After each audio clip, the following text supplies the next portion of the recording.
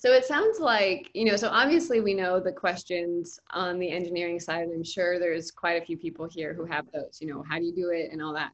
Um, and then it sounds like on the other end, because we're talking about all the jobs at Stardog, right? And there are some engineering, but there are also quite a few on the business side. Um, it sounds like that's really about understanding the wide range of use cases that exist in business and, and sort of being able to ideate that as you talk with the client sort of as a partnership. Is that accurate?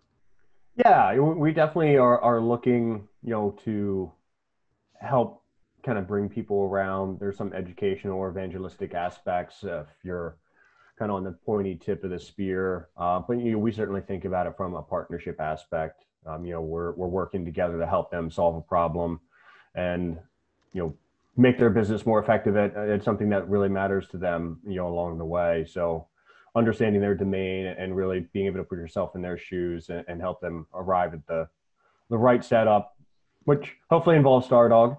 Um, you know, is is paramount for us.